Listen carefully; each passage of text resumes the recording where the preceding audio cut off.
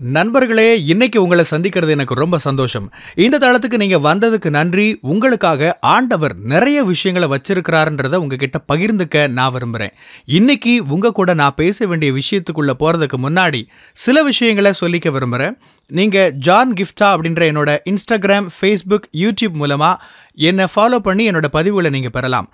தினமும் என்னோட பாட்காஸ்ட் நீங்க கேட்கலாம். ஆண்டவரோட கிருபையில அதெல்லாம் நல்ல கிரியை செய்து வர்றதை நான் பார்க்குறேன். நீங்களும் அதை தினமும் கேளுங்க. நிச்சயமா அது உங்களுக்கு ஒரு பெரிய ஆசீர்வாதமாக இருக்கும்னு என்னால் சொல்ல முடியும். ஜான் கிஃப்டா அப்படின்ற என்னோட யூடியூப் சேனலை தினமும் பார்க்க மறக்காதீங்க. Fuel for the soul with John Gifta அப்படின்ற இங்கிலீஷ் பாட்காஸ்டையும் நீங்கள் தினமும் கேட்கலாம். www.johngifta.com dot John Gifta dot com அப்படின்ற என்னோட வெப்சைட்லேயும் இது எல்லாமே இருக்கும். ஆமா நாம ரெண்டாயிரத்தி இருபத்தொன்னோட கடைசி புள்ளிக்கு வந்துட்டோம். அடுத்த வருஷம் என்ன நடக்க போகுதுன்னு நிறைய பேர் கலக்கத்தோடையும் ஆச்சரியத்தோடையும் காத்திருக்கலாம்.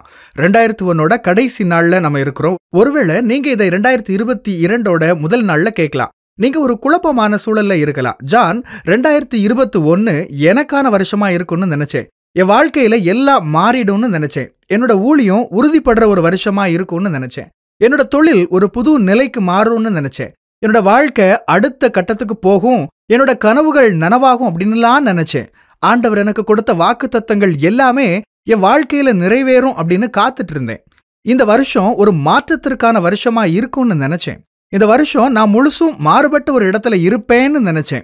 ஒரு அற்புதத்துக்காக வேலைக்காக திருமணத்துக்காக ஆவிக்குரிய நன்மைக்காக தரிசனத்துக்காக ஜெபம் பண்ணேன். ரெண்டாயிரத்தி இருபத்தி ஒன்னு நீங்க நம்பிக்கை வச்சிருந்த விசுவாசிச்ச ஒவ்வொரு நாளும் ஆண்டவரோட வாக்குத்தத்தங்களை பற்றி பிடிச்சுக்கிட்ட வருஷமா இருக்கலாம். நீங்க ஜெபம் பண்ணீங்க உபவாசம் பண்ணீங்க ஆண்டவரோட வார்த்தைகளை அறிக்கை செஞ்சீங்க ஆனா இந்த வருஷத்தோட முடிவுல ஏமாற்றத்தோட நிக்கிறீங்க. ஜான் நான் எதிர்பார்த்த எதுவுமே நடக்கல. ரெண்டாயிரத்தி இருபத்தி ரெண்டுல நான் என்ன எதிர்பார்க்கறதுன்னு எனக்கு தெரியல.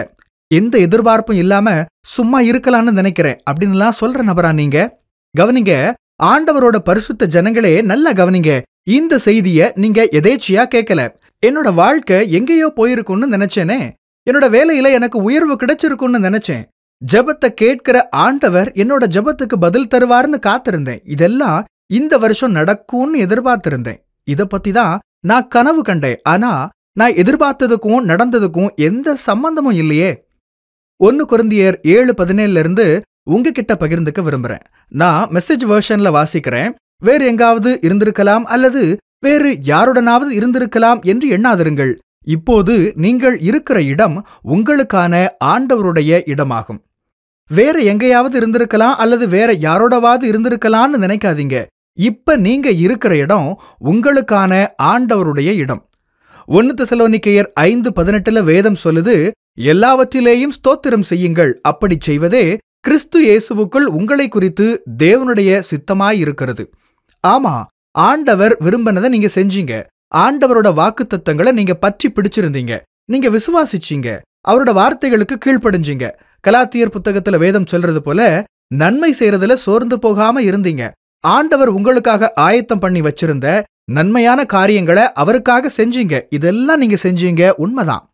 ரெண்டாயிரத்தி இருபத்தொன்னோட கடைசி நாள்ல அல்லது ரெண்டாயிரத்தி இருபத்தி இரண்டோட முதல் நாள்ல இதுதான் உங்களோட எண்ணமா இருக்குதுன்னு சொன்னா நான் சொல்றேன் வேற எங்கேயாவது இருந்திருக்கலாம் வேறு ஒரு நபரா இருந்திருக்கலாம் அப்படின்னு ஆசைப்படுறத நிறுத்துங்க. ஆண்டவர் உங்களுக்கு தர்ற விஷயங்களை ஏத்துக்க கத்துக்கோங்க. இன்னைக்கு இந்த சூழல்ல இதுதான் எனக்கான உம்முடைய சித்தம் ஆண்டவரே உமக்கு நன்றின்னு ஏத்துக்கோங்க. ஆமா நூறு விஷயங்கள் நல்லா இல்லாம இருந்திருக்கலாம் ஆனா நீங்க இன்னைக்கு திரும்பி பார்த்து நன்றி சொல்ல ஏராளமான விஷயங்கள் இருக்குது. நீங்க இன்னைக்கு இந்த பாட்காஸ்ட உங்க மொபைல்ல கேக்குறீங்க அப்படின்னாலே உங்களோட கண்கள் தெளிவா இருக்குதுன்னு அர்த்தம். கண்களால பார்க்க முடிஞ்சதுக்கு நீங்க நன்றியுள்ளவர்களா இருக்கணும். இந்த செய்தியை நீங்க கேக்குறீங்க அப்படின்னா உங்களோட காதுகள் நல்லா இருக்குதுன்னு அர்த்தம். உங்களோட காதுகள் நல்லா செயல்படுறதுக்கு நீங்க அவருக்கு நன்றியுள்ளவர்களா இருக்கணும். உங்களோட ஐபோன் ஐபேட் அல்லது கம்ப்யூட்டர்ல நீங்க நேவிகேட் பண்ண முடியுதுனாலே உங்களோட மனநிலை சரியா இருக்குதுன்னு அர்த்தம். ஆரோக்கியமான மனதில் இருக்குது. நீங்களா சிந்திக்க முடியுது. சரியா நேவிகேட் பண்றீங்க அப்படின்னா உங்களோட விரல்கள் நல்லா வேலை செய்யுதுன்னு அர்த்தம். நீங்க இந்த செய்திய ஒரு டிவைஸ்ல கேக்குறீங்க அப்படின்னாலே நான் விசுவாசிக்கிறேன் உங்களுக்கு சாப்பிட ஆகாரம் இருக்குது உடுத்திக்க உடைகள் இருக்குது உங்களுக்கு மேல ஒரு கூரை இருக்குது. நீங்க நன்றியுள்ளவர்களா இருக்கிறதுக்கு லட்சக்கணக்கான காரணங்கள் இருக்குது. நிறைய பேரு ரெண்டாயிரத்து இருபத்தொன்ன கடந்து வர முடியல. இந்தியாவுல ரெண்டாயிரத்து இருபத்தி ஒன்னு ஏப்ரல் மாசம் ஒவ்வொரு நாளும் நாலாயிரம் பேர் கோவிட்னால மறித்து போனாங்க. ஒவ்வொரு நாளும் கோவிட் கேஸ் நாலு லட்சம் அதிகரிச்சுக்கிட்டே இருந்தது. ஒவ்வொரு நாளும் நாலாயிரம் பேர் மறிச்சுக்கிட்டே இருந்தாங்க. யோசிச்சு பாருங்க இதெல்லாம் கடந்தும் ஆண்டவர் இது நாள் வர உங்களுக்கு ஜீவன் கொடுத்திருக்கிறாரு. நீங்க ஏன் ஆண்டவருக்கு நன்றி செலுத்தக்கூடாது? ஆமா நீங்க விரும்பின சில விஷயங்கள் கிடைக்காம போயிருக்கலாம். ஆனா இந்த தருணத்துல உங்களுக்கு தேவையானதை ஆண்டவர் தந்திருக்கிறாருன்றத புரிஞ்சுக்க கத்துக்கோங்க. ரெண்டாயிரத்தி இருபத்தி ரெண்டுல நுழையிறப்பவும் நீங்க தொடர்ந்து அவரை பிடிச்சுக்கோங்க. தொடர்ந்து விசுவாசிங்க. தொடர்ந்து உறுதியாயிருங்க. ஜீவனுள்ள ஆண்டவரோட வார்த்தைகளை தொடர்ந்து அறிக்கை செய்யுங்க. ரெண்டாயிரத்தி இருபத்தி ரெண்டு இந்த புதிய வருஷத்துல ஊழியத்தோட கருத்து சகாயம் நிறையும் ஆண்டு. சகாயம் நிறையும் ஆண்டு. அதாவது உங்க வாழ்க்கையில நீங்க கற்பனை செய்ய முடியாத அளவுக்கு ஆண்டவர் உங்களுக்கு சகாயம் செய்ய போறாரு. சகாயம் அப்படின்னா என்னன்னு சொல்றேன். முதல்ல ஃபேவர் சகாயம் அப்படின்ற வார்த்தைக்கு பொருள் சொல்றேன் அப்புறமா விளக்கம் சொல்றேன். அங்கீகாரம் ஒருவருக்கு அல்லது ஒன்றிற்கு ஆதரவு வழக்கத்திற்கு மாறான அதிக கனிவான செய்கை ஒன்றின் முன்னுரிமையை அதிகரித்தல். நீங்க சகாயம் பெற்றிருக்கீங்க அப்படின்னா உங்களை நோக்கி வழக்கத்துக்கு மாறான அதிக கனிவான செய்கை செய்யப்படுதுன்னு அர்த்தம். வேற மாதிரி சொல்றதா இருந்தா இன்னொரு நபர் இருக்கிறாங்க நீங்களும் இருக்கிறீங்க உங்களுக்கு முன்னுரிமை கொடுக்கப்படுது. அதுக்கு எந்த காரணமுமே இருக்காது. எந்த உடல் அளவிலான பொருளாதார உலக காரணங்களும் இருக்காது. உங்க வாழ்க்கையில ஆண்டவரோட சகாயம் இருக்குதுன்னு தான் அர்த்தம். சங்கீதம் ஐந்தாம் அதிகாரம் பன்னிரெண்டு வசனத்துல வேதம் சொல்லுது காருண்யம் எனும் கேடகத்தினால் சூழப்பட்டிருக்கீங்க அப்படின்னு. சகாயம் அப்படின்றது நாம சம்பாதிச்சு கொள்ற ஒரு விஷயம் இல்லை. நீங்க ராஜாதி ராஜாவோட கர்த்தாதி கர்த்தாவோட பிள்ளையா இருக்கிறதுனால மற்ற ஜனங்கள்ல இருந்து நீங்க பிரித்தெடுக்கப்பட்டவர்கள் அப்படின்னு நீங்க விசுவாசிக்கிறதுனால நீங்க எங்க போனாலும் விசேஷித்த முன்னுரிமை இருக்கிறத நீங்க உணர்றதுனால வழக்கத்துக்கு மாறான அதிகப்படியான ஒரு கனிவு கவனிப்பு உங்க மேல இருக்குது. இன்னைக்கு அந்த சகாயம் உங்களுக்கு உண்டு. ரெண்டாயிரத்தி இருபத்தி ரெண்டுல நீங்க எங்க போனாலும் அந்த சகாயம் உங்க வாழ்க்கையில செயல்படுறத நீங்க பாப்பீங்க.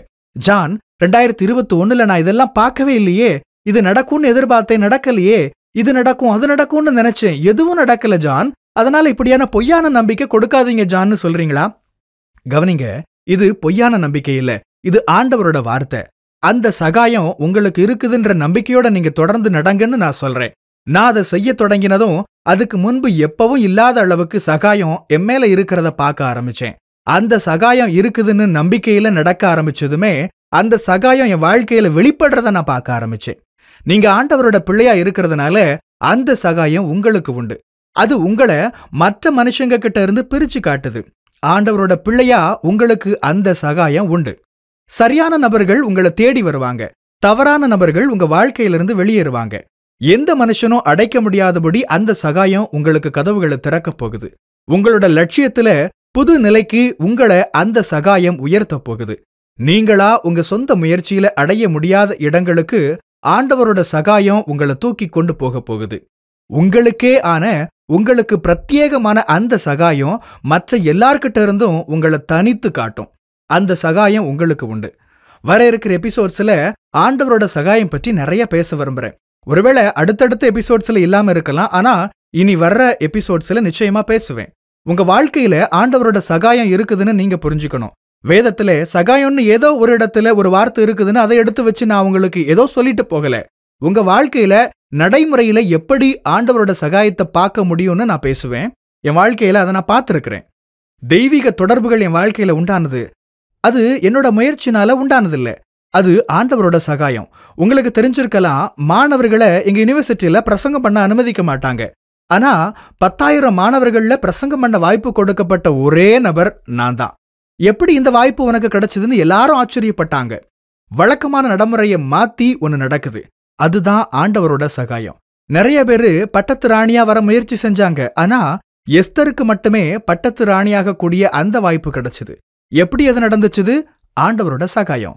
ஜனவரி ரெண்டு நான் தினமும் வெளியிடுற என்னோட இங்கிலீஷ் பாட்காஸ்ட் இந்தியாவுல மட்டுமில்ல உலகத்திலேயே டாப் பாட்காஸ்ட்ல ஒன்னா வந்துச்சுது.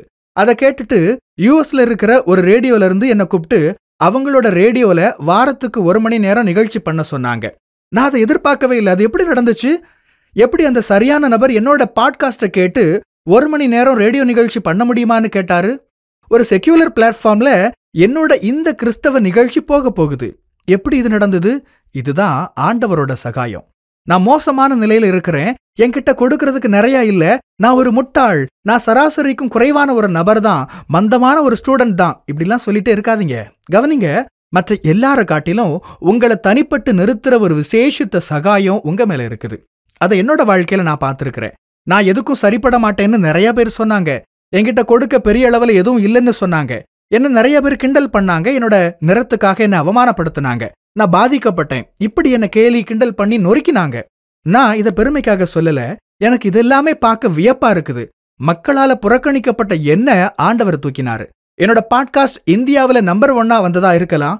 இந்தியாவுல நம்பர் ஒன்னா மாறின என்னோட புத்தகம் சமீபத்துல நான் அடைஞ்ச வேர்ல்ட் ரெக்கார்டு இன்டர்நேஷனல் ரேடியோல வாய்ப்பு கிடைச்சதா இருக்கட்டும். நான் இதெல்லாம் பெருமைக்காக சொல்லல. ஆண்டவரோட சகாயம் உங்க வாழ்க்கையில இருக்குதுன்ற உணர்வுல நடக்க ஆரம்பிக்கிறப்ப உங்க வாழ்க்கையில ஆண்டவரோட சகாயம் வெளிப்படுறதை நீங்க பார்க்க முடியும். அதை பார்த்துட்டு மத்தவங்க ஆச்சரியப்படுவாங்க. எதுக்கும் உதவ மாட்டான்னு நாம நினைச்ச இந்த ஆளு இதை எப்படி செய்யறான் இவனோட புத்தகம் எப்படி நம்பர் ஒன்னா மாறிச்சுது? இவனோட பாட்காஸ்ட் எப்படி நம்பர் ஒன் ஆச்சுது விஷயங்கள் தலைகிலா மாறி போச்சுது இதெல்லாம் நான் சாதிச்சதுன்னு சொல்ல வரல. என் மேல இருந்த ஆண்டவரோட சகாயம் என் வாழ்க்கைய முழுசுமா மாத்திடுச்சு. உங்க வாழ்க்கையில ஆண்டவரோட சகாயம் இருக்குதுன்னு அந்த உணர்வோட நீங்க நடக்க ஆரம்பிச்சா நீங்களும் மாற்றத்தை பார்க்க ஆரம்பிப்பீங்க. உங்களோட பழைய வாழ்க்கையை நினைச்சு பழைய தவறுகள் தோல்விகளை பத்தி யோசிச்சு சோர்ந்து போகாதீங்க. உங்களுக்கு ஆண்டவரோட சகாயம் உண்டுன்றத மறந்து போகாதீங்க. நானும் அந்த மாற்றத்தை உடனடியா பார்த்துடல.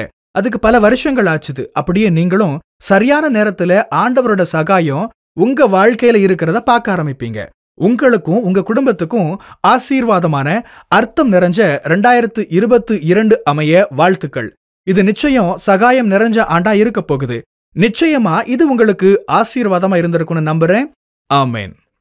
பிரியமானவங்களே இந்த செய்தி மூலமாக நீங்கள் உற்சாகம் அடைஞ்சிருப்பீங்க ஆசீர்வதிக்கப்பட்டிருப்பீங்கன்னு விசுவாசிக்கிறேன். திரும்பவும் ஞாபகப்படுத்துகிறேன் நீங்கள் ஜான் கிஃப்டா அப்படின்ற என்னோட இன்ஸ்டாகிராம் ஃபேஸ்புக் யூடியூப் மூலமாக என்னை ஃபாலோ பண்ணி என்னோட பதிவுகளை பெறலாம். ஜான் கிஃப்டா அப்படின்ற என்னோட யூடியூப் சேனலை தினமும் பார்க்க மறக்காதீங்க. Fuel for the soul with John Gifta அப்படின்ற இங்கிலீஷ் பாட்காஸ்ட்டையும் நீங்கள் தினமும் கேட்கலாம். பாட்காஸ்ட் எபிசோடுக்கு நீங்கள் உங்களோட ரேட்டிங் ரிவ்யூ கொடுத்து ஷேர் பண்ண மறக்காதீங்க.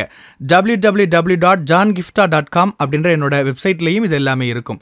இந்த ஊழியத்தால் நீங்கள் ஆசீர்வதிக்கப்பட்டிருந்து மற்றவங்களுக்கும் இதே ஆசீர்வாதம் சேரணும்னு விரும்பினா நீங்களும் எங்கள் கூட சேர்ந்து ஆண்டவரோட ராஜ்யத்தை கட்டுற இந்த பணியை உங்களோட நிதி ஆதரவு மூலமாகவும் தாங்கலாம். கூகுள் பே அல்லது நெட் பேங்கிங் அல்லது பேபால் மூலமா நீங்க ஆதரவு தரலாம். எல்லா விவரங்களையும் டிஸ்கிரிப்ஷனில் நீங்க பார்க்கலாம். ஆண்டவர் உங்களை ஆசீர்வதிப்பாராக.